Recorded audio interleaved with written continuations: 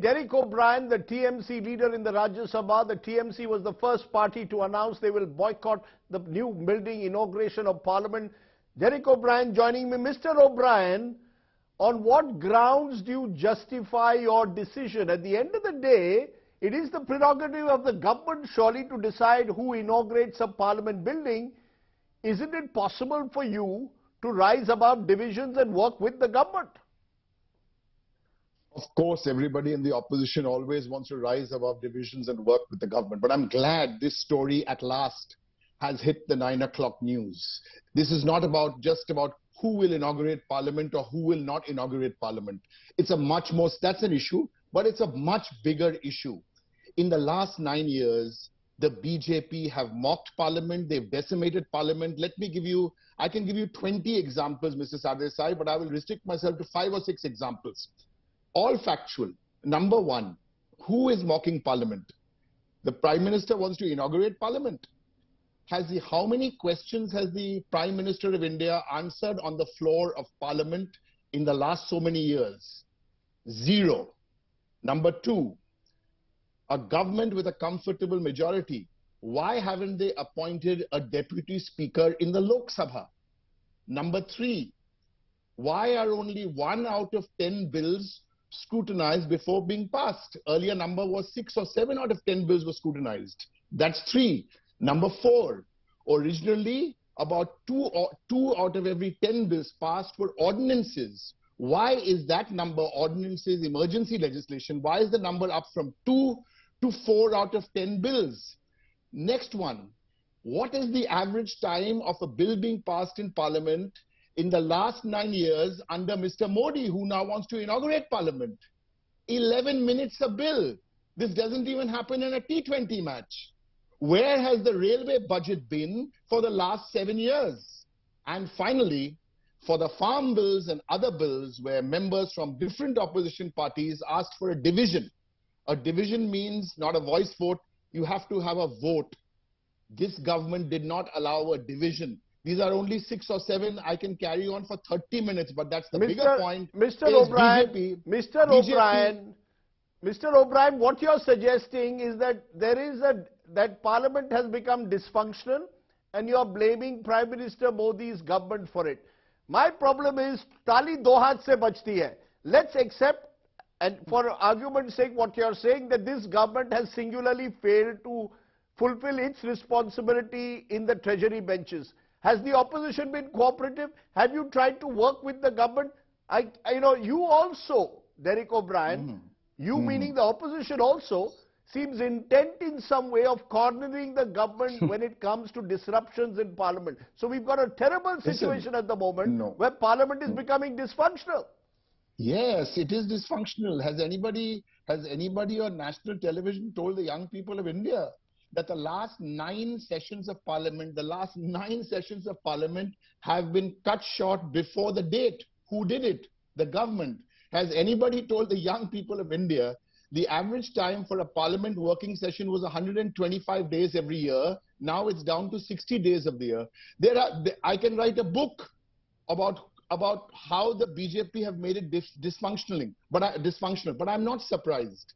This is, they've made the BJP themselves dysfunctional. And I think there's a much bigger point here. The bigger point is that now Parliament is now come onto prime time television at 9 o'clock because we couldn't get this done earlier because even Sansad TV is being censored, mics have been muted, and let me tell you, MPs have to find new ways to get the, because we are muted in Parliament, and you are a journalist. India Today uh, the Prime Minister didn't answer any questions in Parliament. Okay, he didn't even answer any questions to India today because you didn't ask him. But on a more serious note, what about the media? Why isn't the why is the media now censored to go into Parliament? The press club has issued a statement today. Why do you want to keep the media out?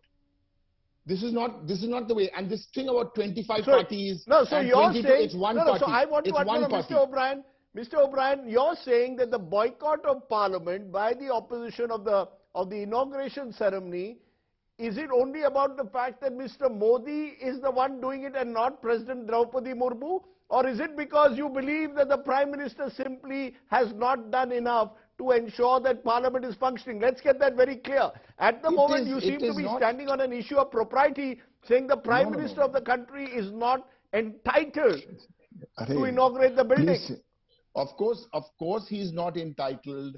Of course, he's not entitled. It's not one issue. One is the Article 79 of the Constitution. Who is who is Parliament made up of? It is, please, Mr. Sardesai, it is wrong to suggest it is only one issue. Yes, that is an issue. But what has been happening? I've I've been there. Sometimes you feel like breaking down and crying in Parliament because I see it happening on my left, on my right. It's happening. No, it happened. It happened in uh, the West Bengal Assembly as well. Mr. O'Brien, the happens in the problem is it starts in You- Parliament across this go. country. There is a breakdown in Parliament and assemblies. What are you talking about? Mr. Sardesai, please understand. I'll give you I'll give you a very I'll give you a very interesting insight. You talk about West Bengal Assembly or Tamil Nadu Assembly. Do you know what is happening there with bills and governors? The, the Raj Bhavans have been converted into RSS shakhas. They don't pass the bills. This ordinance about Delhi. So please understand there are opposition parties. The number is not important. 5, 10, BJP, NDA. Suddenly the NDA has issued a statement. What NDA? Where is the NDA? Where, where is the NDA? That's a BJP statement and you've taken, you've bullied um, in the name of double engine, you bullied the northeastern states and taken their one MP, one MP and chief ministers, throttled them and said, sign now. This is the reality parliament is, but, but I'm still very hopeful. I'm very, No, no, very no, the fact, no, no, Mr. O'Brien, no, no, Mr. O'Brien, in conclusion, the fact is BSP, Biju Janata Dal, uh, the TDP, the YSRCP, there are several opposition parties that will also attend. So we is- to understand even within the opposition there are Mr. two camps, Mr. one which are close to the government and one which Mr. are anti-Modi. Mr. Sardesai, I'm actually surprised how you put the two uh, pieces of fake news into your question. Biju Janta Dal. Please look in Parliament at the Biju Janta Dal and please look in Parliament, only Parliament, at the YSR party. Okay, they've got CBI and all that. These two parties have consistently supported the Modi government on the floor of Lok Sabha and Rajya Sabha. So what they're already in the BJP camp in Parliament, now you're saying two of them are supporting. No, it is wrong. And Mr. Naveen Okay. Patnaik and Mr. Jagan Reddy, both, they have to put up their hands once and for all when this Delhi ordinance comes to the Rajya Sabha. As Mamta Banerjee said, we can defeat the BJP in 2023. And I'll tell you how it's done. Very simple. If Biju Janta Dal's Mr. Naveen Patnaik and if Mr. Jagan Reddy, uh, uh, YSR, if they want to fight for federalism, I urge them to vote for that in old parliament, new parliament, building doesn't matter, to vote for that for federalism and the BJP can be defeated in 2023 because the BJP have mocked parliament. It's really sad. We are not Okay. angry. We are sad that this is what has happened to parliament.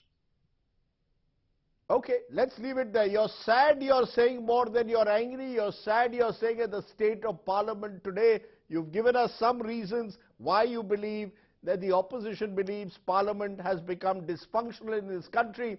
Derek O'Brien joining me there at the top of the show. Appreciate your joining us.